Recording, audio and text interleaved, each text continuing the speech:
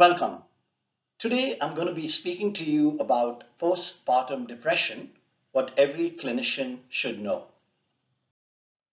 Here is a disclaimer liability slide that please spend a few moments to review. These are my financial disclosures for the past three years in terms of being a consultant, serving as a research advisor on the Speakers Bureau, or as a shareholder.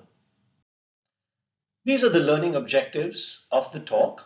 We're going to take a look at the signs and symptoms of PPD. We will look at screening instruments, potential etiology, prevalence, and then evidence-based treatments for PPD. Here is an outline of the talk. We're going to start off with prevalence and move on to management and prevention of PPD. Let me say a few words about postpartum depression. The postpartum period is a very challenging period, a transitional period for mothers, particularly those with a history of psychiatric illness. Baby blues are very common in this period and can occur in up to 80% of mothers after delivery. However, only one in five mothers with baby blues will go on to develop postpartum depression. Unfortunately, postpartum depression is often missed, diagnosed too late, thereby adversely affecting the mother and the child, including interfering with bonding. We also know that maternal postpartum depression is a risk factor for paternal postpartum depression that can lead to marital conflicts, feelings of isolation, and problems interacting with the child. Now in DSM-5, which is the diagnostic system for psychiatric illness, postpartum depression is major depression. Patients have to meet the criteria for major depression, five out of nine symptoms for two weeks. The only difference is there is a peripartum specifier that you have to say because these symptoms have occurred either during pregnancy or four weeks postpartum. In postpartum depression, anxiety and panic attacks are extremely common. In terms of etiology, we're not quite certain what causes PPD, but some people argue it may be an inability to upregulate the GABA A receptors quickly in the postpartum period. We also know that there is a rapid fall in the estrogen and progesterone levels from pregnancy in the postpartum period, and that may be another factor that may be responsible. So how common is PPD around the world? The best meta-analysis was done by Shorey et al. from the National University of Singapore published in the Journal of Psychiatric Research a few years ago. And they looked at 58 studies involving more than 37,000 mothers.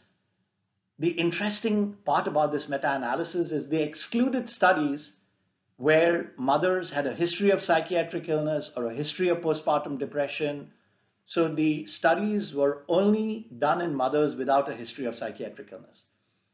They found that the global prevalence of PPD was 17%, the incidence was 12%, the highest rates in the Middle East, the lowest rates in Europe. Interestingly, they did not find like previous studies that age was a risk factor for PPD or parity, multiparous versus primiparous, or marital status, married versus single mothers, were risk factors for PPD. They did not find that in this meta-analysis. And finally, they did not find that it mattered what screening tool you use, whether you use the Edinburgh Postnatal Depression Scale, which we uh, know is one of the best validated scales for PPD, whether they use the Hamilton Rating Scale, the PHQ-9, it didn't matter. The global prevalence was still the same. Now, there have been other meta-analyses, such as the one done by Hahn and Holbrook in 2018, where they included studies where the mothers had a history of psychiatric illness or a history of postpartum depression, and they looked at 291 studies and found a prevalence of PPD of 17.7%. This is different than the Shorey meta-analysis where they excluded mothers with a history of psychiatric illness. The other thing to keep in mind is postpartum depression patients often have comorbidity. Two-thirds of them can have an anxiety disorder, 70% of them may have had major depression in the past, and one in five may actually have a bipolar disorder. In fact, bipolar disorder is often missed in postpartum depression. Postpartum depression is a risk factor for bipolar disorder. Always screen every woman with postpartum depression for hypomania or mania using a screener. I'm going to be discussing one we've developed called the Rapid Mood Screener. And finally, only 40% of episodes of postpartum depression begin during the postpartum period. A third of them begin during pregnancy, which is why the DSM 5 specifier is peripartum specifier, not a postpartum specifier. And 27% can begin even before pregnancy. Now, we saw that the prevalence of PPD in the Shorey meta-analysis was around 17%, but those were patients without a history of psychiatric illness. What happens if you have a history of major depression in the past or a history of postpartum depression in the past? Your risk for postpartum depression and subsequent pregnancies is higher. If you had postpartum depression in the past, your risk of a subsequent PPD is 40%. If you had major depression in the past, your risk of postpartum depression is 30%. So much higher. Now, different studies have used different screening tools for PPD. As I mentioned, DSM-5 says PPD is major depression. So you could use a PHQ-9. You could use a Hamilton rating scale for depression, a MADRS. But the best validated tool is called the Edinburgh Postnatal Depression Scale, the EPDS. And here you can see it has 10 items. And I'm going to show you in just a moment how you score these items. But this is a good scale which is freely available to use in patients to screen them for postpartum depression. Here is the screening scoring for the EPDS.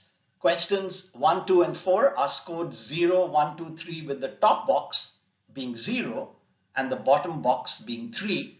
And questions 3 and 5, 6, 7, 8, 9, 10 are reverse scored. So the top box is scored as a 3 and the bottom box's box is scored as a 0. The maximum score is 30 and if the EPDS score is 10 or greater, it's thought to have a very high sensitivity and specificity for diagnosing postpartum depression. Always look for the suicidal thoughts, item number 10. If you remember, I said earlier, bipolar disorder is a very common illness, misdiagnosed underdiagnosed in women with postpartum depression.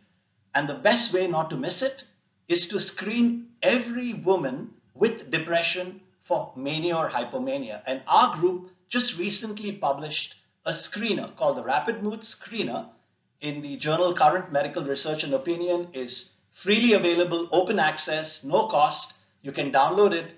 And this screener only has six items. The mood disorder questionnaire, which was used before, 15 items, takes five to seven minutes. Our screener takes less than two minutes. You can see the six questions. If you score four plus on the screener, four items, positive or more, it has a very high sensitivity and specificity for diagnosing bipolar disorder. You can use this even in patients without postpartum depression. In regular patients with major depression, you can screen them for bipolar disorder using the rapid mood screener which takes less than two minutes. So as I said at the start, postpartum period is a challenging transition for mothers, particularly those with psychiatric illness, and it's often referred to as the fourth trimester, the 12 months after delivery. And you can see some of the adaptations mothers have to make. There's a new self-identity. They are being judged for their competence to be a mother. There are emotional challenges. They often have to take time off their job. So this is a very challenging period for many mothers. Let me say a few words about the management of PPD.